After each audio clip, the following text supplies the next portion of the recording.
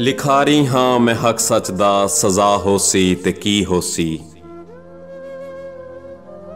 ਲਿਖਾਰੀ ਹਾਂ ਮੈਂ ਹੱਕ ਸੱਚ ਦਾ, ਸਜ਼ਾ ਹੋਸੀ ਤੇ ਕੀ ਹੋਸੀ। ਕੋਈ ਮਿਸਰਾ ਬਗਾਵਤ ਦਾ, ਅਦਾ ਹੋਸੀ ਤੇ ਕੀ ਹੋਸੀ।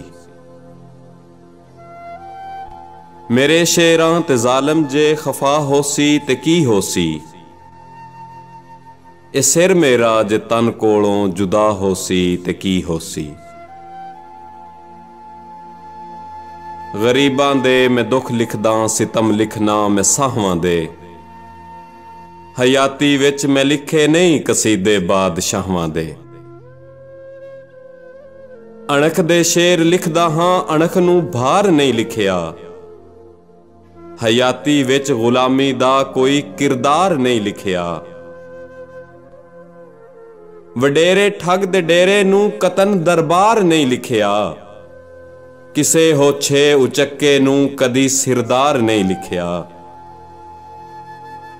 ਮੈਂ ਰਾਠਾਂ ਦਾ ਲਿਖਾਰੀ ਹਾਂ, ਮੈਂ ਪੱਗ ਨੂੰ ਤਾਜ ਲਿਖਦਾ ਹਾਂ।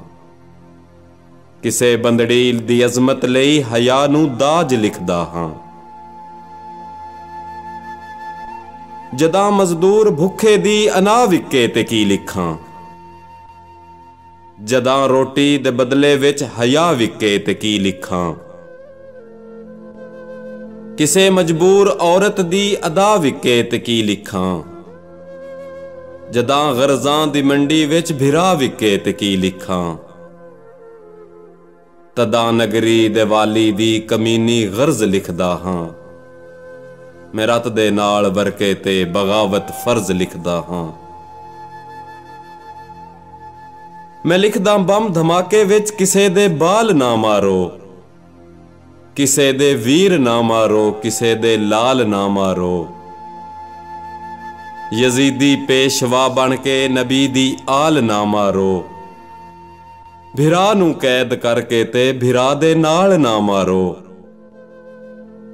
ਮੈਂ ਸਦ ਲਿਖਦਾ ਹਾਂ ਭੈਣਾਂ ਦੇ, ਮੈਂ ਲਿਖਦਾ ਵਹਿਣ ਮਾਵਾਂ ਦੇ। ਬਹਾਰਾਂ ਵਿੱਚ ਵੀ ਲਿਖਦਾ ਹਾਂ ਹਮੇਸ਼ਾ ਡਰ ਖਿਜ਼ਾਵਾਂ ਦੇ।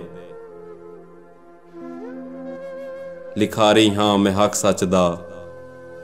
ਸਜ਼ਾ ਹੋਸੀ ਤੇ ਕੀ ਹੋਸੀ।